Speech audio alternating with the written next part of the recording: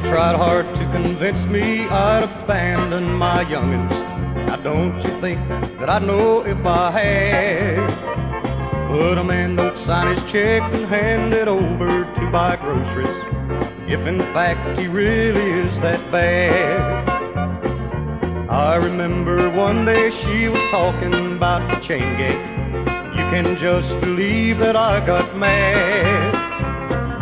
I just up and walked right out and moved back in with mother. Cause wife had spent the last cent that I had.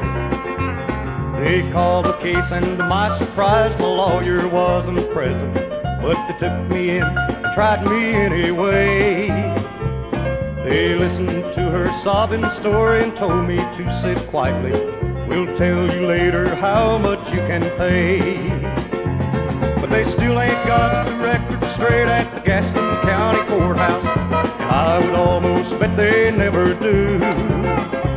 I wouldn't talk about it, except I know just what I'm saying.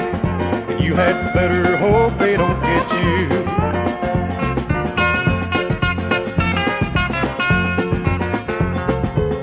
Each check they leave me enough to know I ain't got nothing.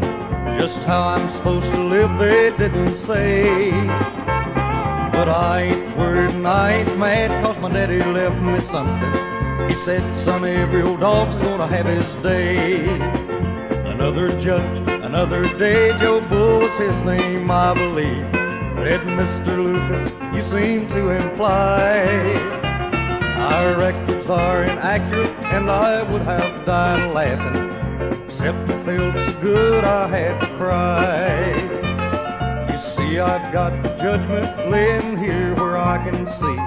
It reads State of North Carolina versus me. Now, one of my kids ain't mentioned, and that stenographer sure can't spell.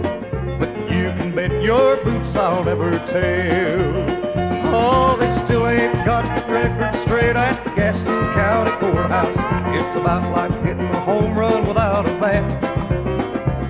And many times I wonder when they go to work each morning if they hang the chair up and then sit in their hat at the Gaston County Courthouse, USA.